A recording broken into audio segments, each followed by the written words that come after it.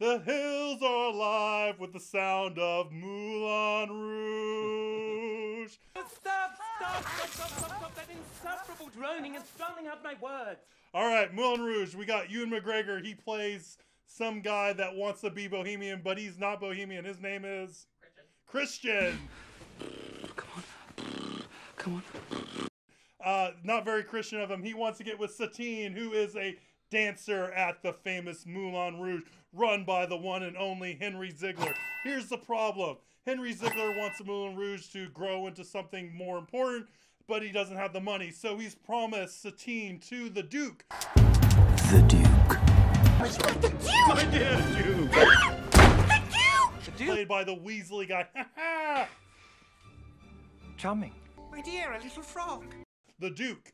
And uh, so, but Satine mistakes Ewan McGregor for the Duke because Christian somehow shows up and dresses nice and she gets confused. And if he doesn't, we don't have a story to tell. So that's what happens. She gets confused. She thinks he's the Duke. She falls in love with him when she's supposed to fall in love with the Duke.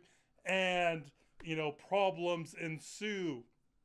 So uh, the Duke catches Christian and Satine together Foul play and he pretends like he's going to be a playwright or a director that they're putting together a play, and then Henry Ziegler comes in there and they do the da da da da ba ba ba ba ba ba ba da number, which is really cool and really fun. And then they tell him that they're doing a musical that is based on the story that they're having. So we have a little bit of Shakespeare going on there with like a was it like Midsummer Night's Dream, I guess, a little bit where the play is of the story that we're watching kind of thing. It's a little bit funny. This feeling inside. anyways, a whole bunch of stuff happens with that movie.